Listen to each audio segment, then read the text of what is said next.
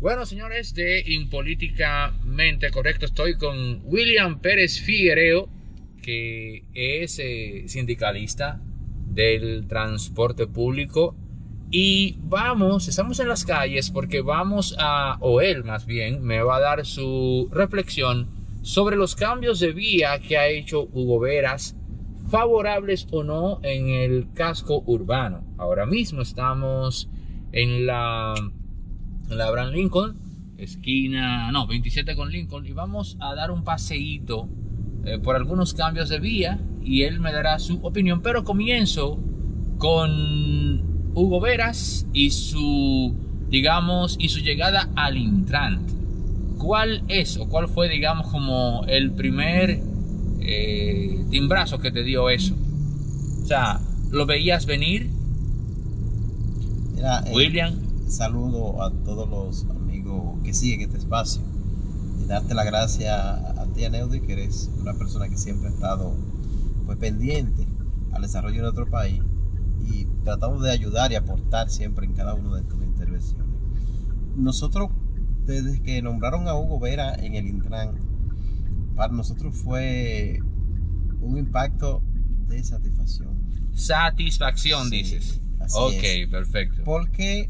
Porque Hugo Vera, si todos recordamos, es una persona que tiene años eh, tratando de opinar, orientar incluso a, los conductores desde un espacio, desde, una plataforma donde ha estado eh, trabajando por años, ligado al tránsito y el transporte, con muchos tips importantes, con consejo, en Semana Santa, en Navidad, en todo esto, él siempre ha estado pendiente. Entonces yo dije, bueno, a Intran llegó una persona que ha estado ligado, aunque fuera mediáticamente, siempre con el tránsito y el transporte. Pienso que Hugo Vera eh, sabe una gran parte de lo que le aqueja al dominicano. Hay gente que duda de la preparación de él.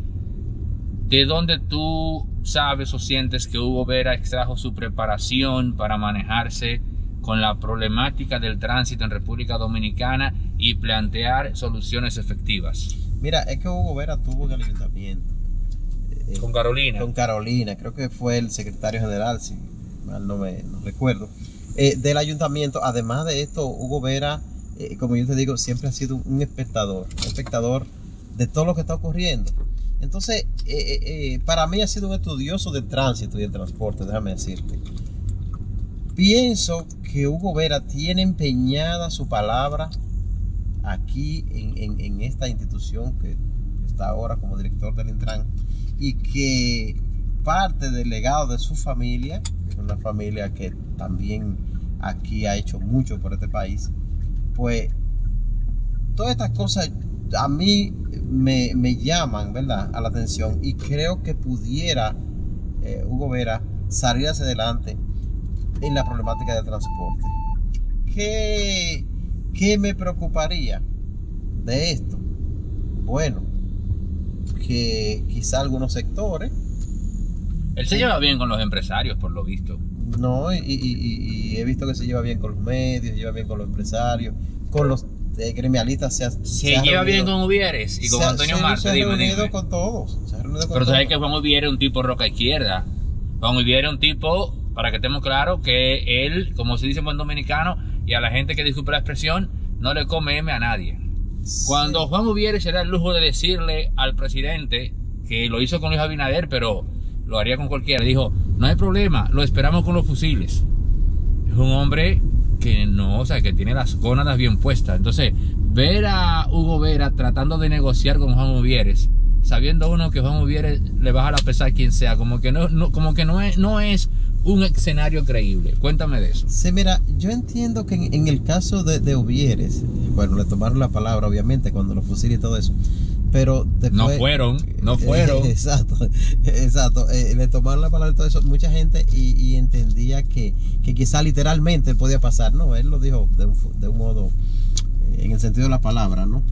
Eh, sin embargo, Uvieres es una persona tan preocupado por el tránsito y el transporte como, como lo que más. Y, y quiero que, que tú sepas, Neudi, y el pueblo que nos está escuchando. Vamos a doblar a la Gustavo. ¿A qué calle vamos, a qué calle vamos primero? Que cambiaron de vía.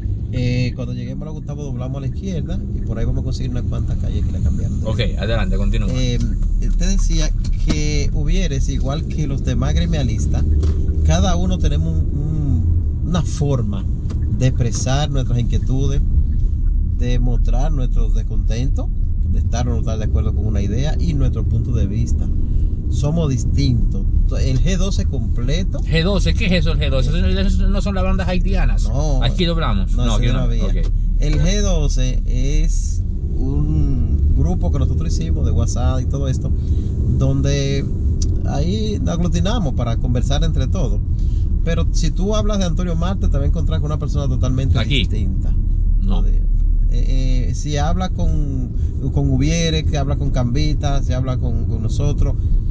Lo que te quiero decir, y, y no quiere decir. En esta. Sí, y no quiere decir que, que sean malos o buenos. Son distintos puntos de vista que, que tenemos cada uno. En el caso de, de algunos, eh, suelen sentirse agresivos. Sin embargo, otros tenemos formas de comunicarnos distintas, diferentes. Bueno, en fin, entonces, ¿qué es lo que tiene que, qué es lo que Hugo ha hecho? Que trata de manejarse con, con cada uno de nosotros. Yo entiendo que eso es correcto. Esto es el ensanche Paraíso, si no me equivoco. Sí, eh, que se está convirtiendo en el sector más caro del país. así es. O sea, vayan comprando aquí, señores, el que quiera hacer inversiones, porque el ensanche Paraíso en pocos años será groseramente el más caro del país. Olvídense de la Nacaona, etcétera. Estamos en el ensanche Paraíso. ¿Qué hizo Hugo Veras aquí? Vamos a Por ver. ejemplo, aquí eh, eh, estamos observando ya, amigos televidentes, la primera violación de, de lo que se ha dicho, de la resolución que se le dio en tranquel parqueo paralelo. O sea, tú no puedes parquearte de la izquierda y parquearte a la derecha, como pueden ver los amigos televidentes. Esto tiene pronto que terminar. Por eso es parquearte bien. El asunto de parquearte bien que tú tienes, eh, está dentro de, de la prerrogativa de esto, está que tú debes parquearte. Si aquí acordaron que parquear de, este- de este lado, debe parquearse de ese lado. Ok, ok, ok. A ver, a si entiendo. Porque parquearte bien no es que no te parquees. Vamos a es ver. que te estaciones bien. Es que, vamos a ver, que si tú ves carros de ambos lados, tú tienes como conductor que saber o Que determinar cuál es el lado que, que corresponde parquearse. Perfecto. Entonces, para esto hace falta la rotulación de la calle. rotula- ok, de aquí se Sí, sí, aquí. Claro, de este lado, parquear de este- tú puedes parquear de este lado que te diga, ¿verdad? Ok. Eh, incluso señalar la parte, eh, en, alguna, en algunos países lo han hecho con los contenedores pintados de amarillo, donde tú no te puedes estacionar. Eh, aquí parece que la pintura le sale muy cara a las autoridades, pero Bueno, pero ahí Hugo Vera tiene que, que- tiene- sí, resolver en eso, de, de- dime de- tú. Sí, dentro de, eso pudiera estar, ¿verdad? Entonces, ¿Sigo o doblo? Vamos a ver. ¿Sigo Aquí. derecho o doblo? aquí si tú quieres podemos doblar a la izquierda. Ok. y después volvemos para atrás.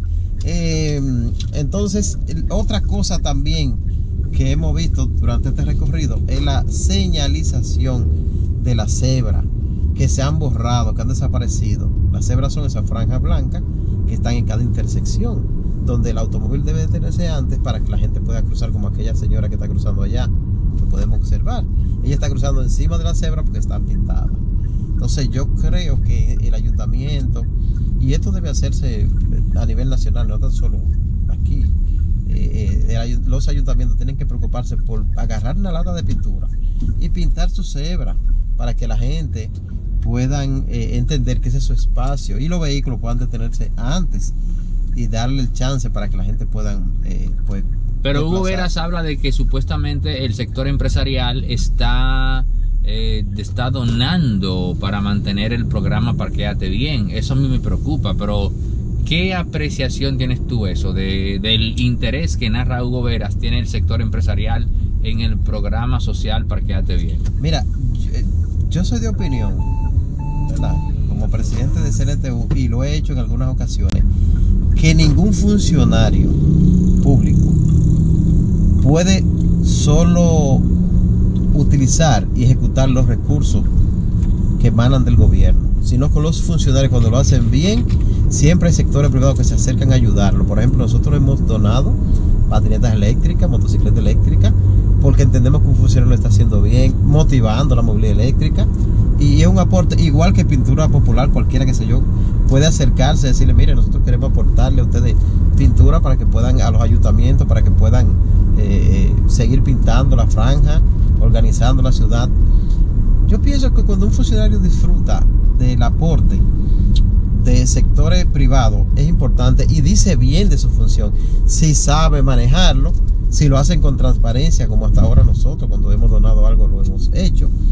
Entonces yo creo que, que eso está bien, que él busque alianza tú creces como funcionario y tú puedes ejecutar y llevar más lejos. Lo que pasa es que a mí me preocupa porque yo no conocía esa vena tan sensible del empresariado dominicano. Para mí cuando un empresario dona algo es porque está buscando otra cosa detrás. Bueno, a veces, ¿qué te digo? Y si, si te fijas, todos los, eh, casi las empresas, los empresarios propios de República Dominicana tienen fundaciones que donan eh, siempre aportan, tanto en la policía. Sí, pero tú sabes que hay un tema impositivo ahí también, eh, William. También hay un tema impositivo. En fin, estamos ahora, estamos en la Lope de Vega ahora. vamos a ver, ¿qué ha cambiado en la Lope de Vega? No, la Lope de Vega ha cambiado, como podemos ver, amigos televidentes, que ahora las isletas están todas cerradas a la izquierda, que te obliga a tener que seguir constante y eso viabiliza el tránsito.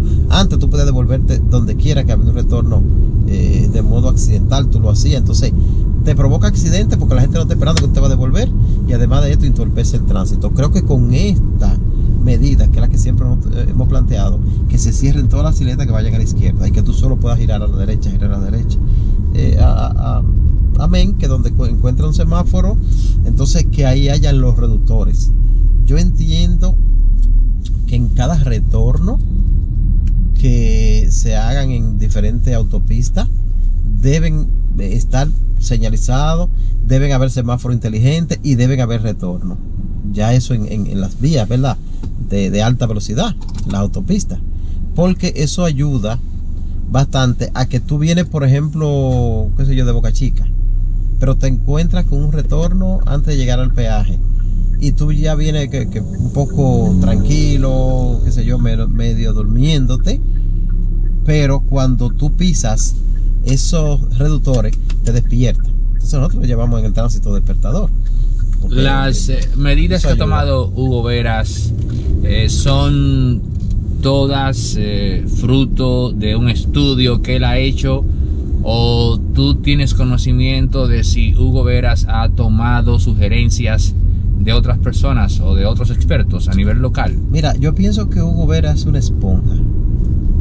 Así lo, figuro, que piensa, ¿no? Él absorbe. Y entonces eh, va meditando y van analizando, no tan solo del país, sino a nivel internacional.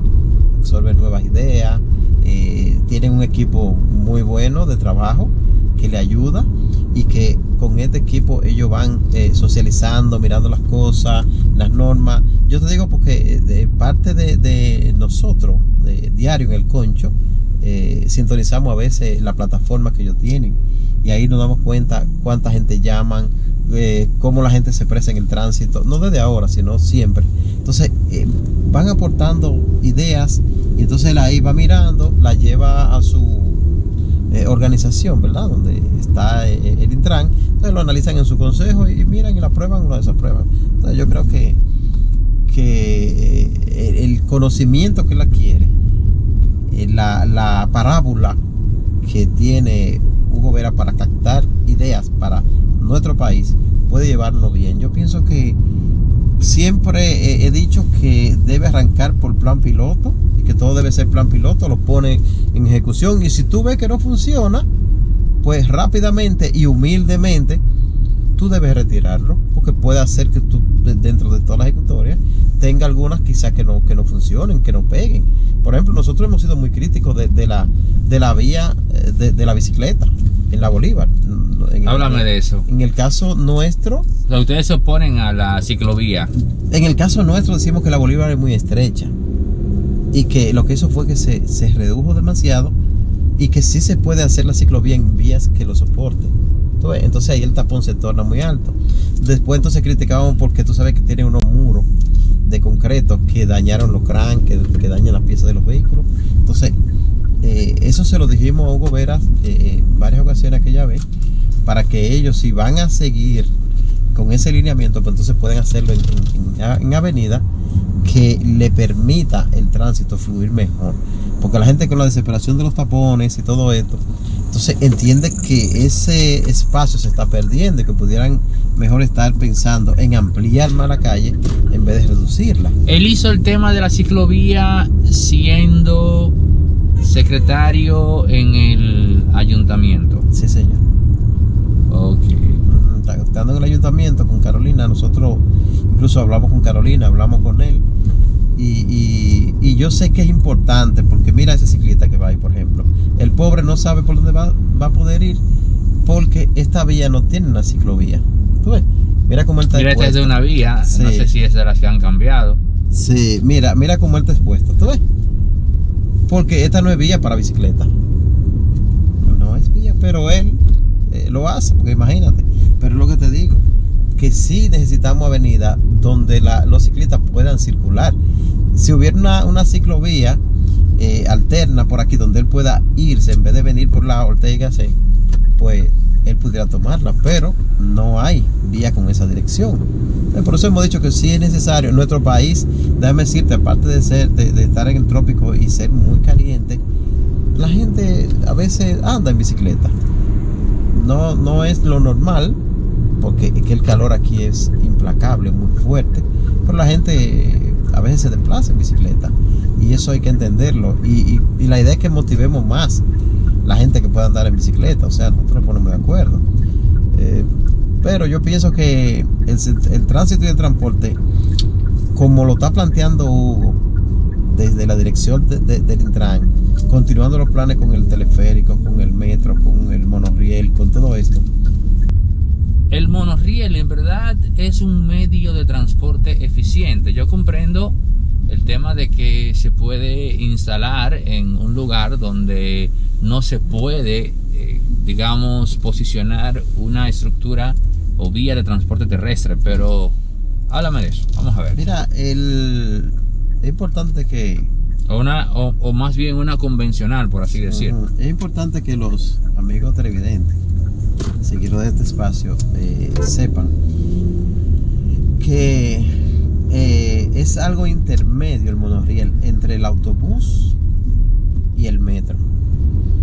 Porque el monorriel se desplaza en, en las vías, en la plataforma que existen. Solo hay que hay, hay acondicionarla, montar los rieles y él pues se puede desplazar con esa facilidad. Con eso entonces se evita construir grandes infraestructuras que son eh, costosas a veces, molestosas y además de más dilación para la conclusión. Entonces yo creo que, que por eso se, se opta por los monorriel y, y yo pienso que es un medio de transporte que aunque a mediano y largo plazo te puede entorpecer porque el metro es más inteligente, el metro tú puedes hacerlo eh, aéreo y los, eh, las otras vías siguen circulando por debajo y eso te puede ayudar más eh, la viabilidad del tránsito. Sin embargo, el, el monorriel te ocupa el espacio y entonces te trae cierto trastorno. Pero yo creo que, que el presidente Luis Abinader y, y Hugo Vera van por lo correcto porque es un país en vía de desarrollo donde tenemos que ir implementando diferentes tipos de, de transporte. En Santo eso- Domingo, Santo Domingo Este, que es donde estamos ahora, ¿qué has observado aquí que ha cambiado? Bueno, yo pienso que Santo Domingo, este, aparte de que ha crecido bastante, déjame decirte, ¿eh? yo me sorprendo cada día cuando me toca venir a uno de los barrios, a la ruta de los choferes para acá. Yo veo como ha tratado de, de- de insertarse en, en- en- en la modernidad de la construcción y todo esto, pero eh, eh, he visto que se han preocupado bastante por las plazas comerciales. Por ejemplo, ustedes de, este lado, el pueblo de Santo Domingo Este disfruta de, los grandes malls que están aquí. Y, y- déjame decirte que eh, tiene uno de, de las mejores infraestructuras del ayuntamiento. Todavía no, no existe en República Dominicana un ayuntamiento como, como el de Santo Domingo Este ustedes tienen acá, este municipio, yo pienso que igual también se han ido preocupando por el desarrollo de sus avenidas, señalizar las avenidas. Eh, eh, ellos han estado avanzando bastante el comercio de aquí y, las diferentes soluciones viales de, Santo Domingo Oeste, acompañado con el desarrollo también que, que tienen la ventaja de que tienen eh, Ciudad Juan Bosch, tienen las Américas, que las Américas también se está convirtiendo en una vía muy inteligente de un acceso fluido, bastante. Entonces yo creo que, que, ha ido avanzando, ha ido avanzando bastante. En la parte final, el tema de, de los nuevos corredores, tengo entendido que a ti te va a tocar un corredor en la Kennedy. Eh, ya, como sabrá la gente, el, de la Núñez sigue siendo operado por Antonio Marte, si no nos equivocamos, eso no ha cambiado. ¿Y Hubieres, a dónde lo mandaron? Mira, eh, eh, hay tres corredores que ya están en funcionamiento, ¿verdad? Que es el de la Winston Churchill, que ahí está mucho Cambita. Está el de la Charles de Gaulle, que la tiene Cambita también, eh, de mucho tran y la Nuña de Cáceres que la tiene el señor Antonio Marta a través del consorcio. Nosotros operaremos en la John F. Kennedy, Dios mediante, en, eh, partiendo desde el kilómetro 20, 22, 18. ¿Estarán compitiendo con la ONSA? Ahí vamos a trabajar eh, conjuntamente. Hasta ahora tenemos entendido que va a trabajar ahí lo que, lo que tiene ruta, como es Antonio Marte, como es Subiere eh, creo que la gente de nuestra fin también tiene ruta. Nosotros como CNTU. Y la ONSA eh, sí va a permanecer siempre. Nosotros nos gustaría que en cada corredor la gente tenga la opción de que esté la ONSA, que la ONSA preservarla, ¿no? Y estemos nosotros como, como ha sido hasta ahora. O sea, hemos, visto eso y, nosotros eh, nos gusta la idea de que la gente tenga como opción, mira, yo me voy, quizás yo no mantengo los 10 pesos, me voy en la onza, o tengo los 35, entonces me monto en, una de, los del corredor. Sin embargo, es importante destacar que pronto vendrán los transfer. ¿Qué es el transfer? ¿Qué es eso? El transfer es un boleto que tú puedes utilizar eh, con un solo pasaje, puedes moverte a distintos puntos de la ciudad sin salir de, del círculo, ¿no?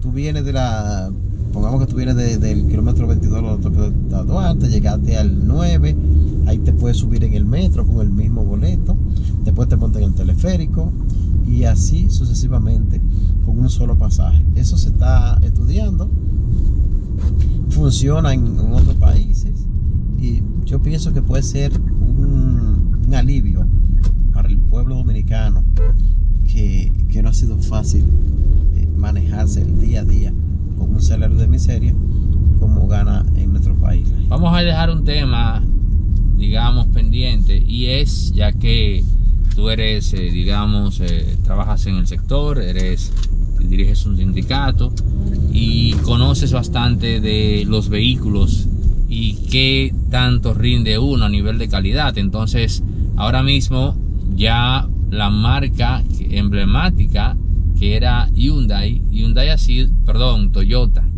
Toyota ha sido desplazada por Hyundai. Y yo quiero que en una próxima intervención tuya hablemos de un Corolla versus versus un eh, no no Sonata vamos por parte. Un Corolla versus el que está antes del Sonata el el Andra y de un Sonata, Sonata versus un Camry, porque aunque mucha gente lo compara con el, con el Colora, eh, el Toyota Corolla, ese mismo, eh, pero la competencia real del Sonata es el, el Camry. Entonces, a nivel de, de, transporte, no me respondas ahora porque vamos a hablar de esa profundidad. Toyota o Hyundai. Entonces ahí tú vas a decirle a la gente qué tanto de mito hay en este tema de Toyota versus Hyundai a nivel de, de, fuete, como quien dice, como se dice en buen dominicano, comodidad y todo eso. Así que queda pendiente ese tema. William, a ustedes gracias por acompañarnos hasta el final de esta conversación.